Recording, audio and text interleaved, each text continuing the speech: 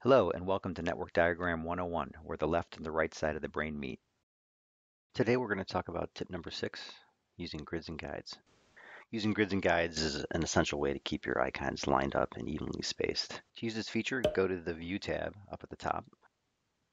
Here you have a ruler option, grid option, and a guide option that we're interested in. We'll start by enabling the ruler, which will bring up the side rulers. Then we'll also enable the guide option, we can now pull guides from these side rulers into our diagram to give us something to line up our icons against. First we draw a border around our page and find the center point.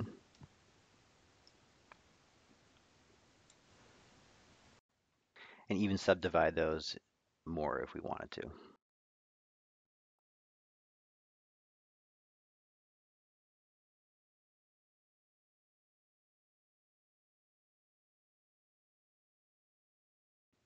You can also enable the grid up here in the left corner.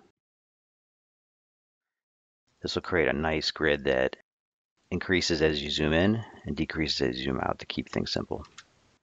So in this example, I want to draw a WAN diagram that is using a circular pattern and the remote sites will circle or revolve around the data center in kind of an orbiting fashion. There's another powerful tool up in this ribbon as well in this view tab. It's uh, task panes.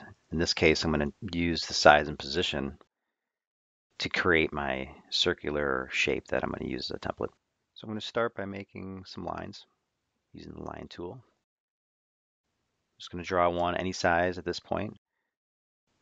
What I'm going to do is I know that I want it to be 10 inches wide.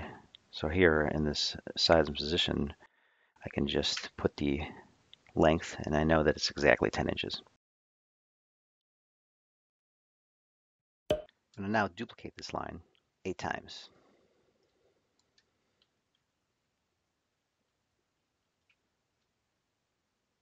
With one of the, the last line, I'm going to make it 14 inches. This is going to be the, uh, the horizontal.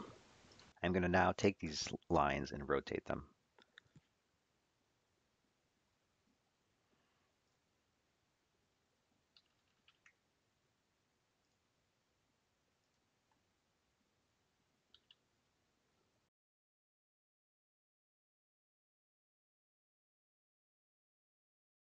And that should do it. So here we have a bunch of lines, uh, all at different angles. The magic happens when we select them all. Go up to align, line center, go back to line again, line middle.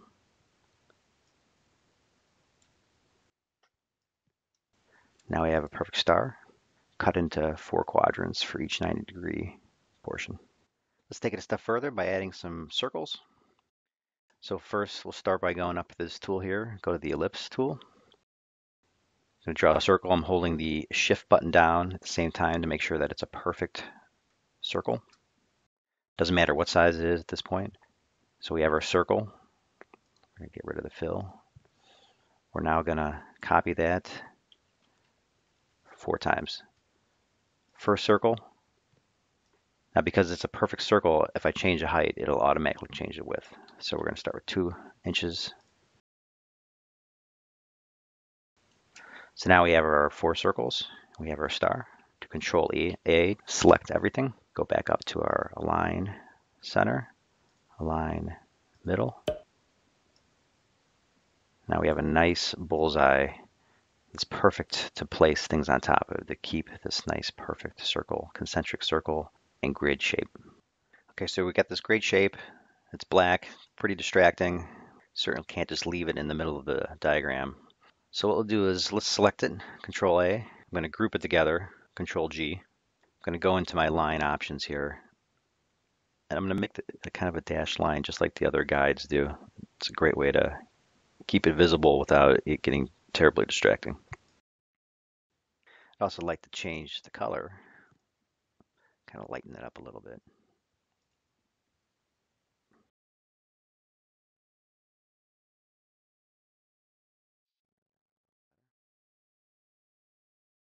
So now we have this great custom template that we can drag and drop our icons on It's nice and light. Looks just like the guides with the uh, dotted lines. Looks pretty good. So even though we grouped it together, it can still accidentally be selected.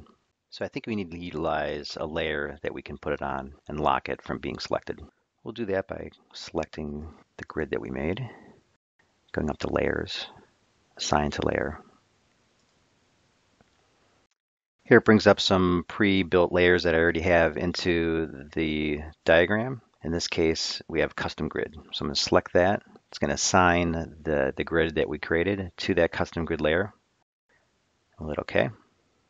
So now once we did that, we can go back up to layers and layer properties. Here we have the three different layers that we had pre-created. And in the custom grid one, we're going to do is going to hit the lock button, hit OK. So now can't accidentally select that grid and it won't be a distraction when we're trying to place things into it.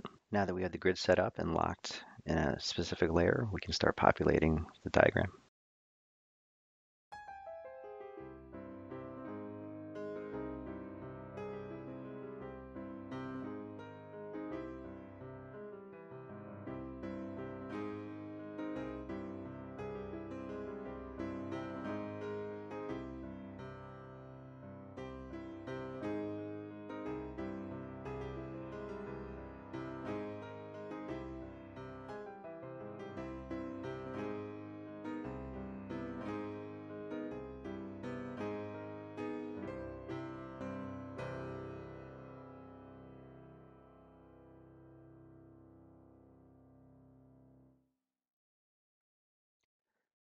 So now all we need to do is just add a title.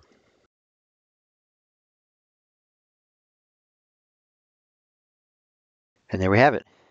So as you can see, uh, you, if you can make a shape, you can basically make it a grid or a guide, guiding pattern. In this case, I, am actually going to leave the pattern. I think it looks kind of cool, kind of like, like a spider web, but it's a great way to keep the symmetry and, and the order of the actual overall diagram and add a little embellishment to it as well. Thank you for watching and please like and subscribe if you thought this video was helpful.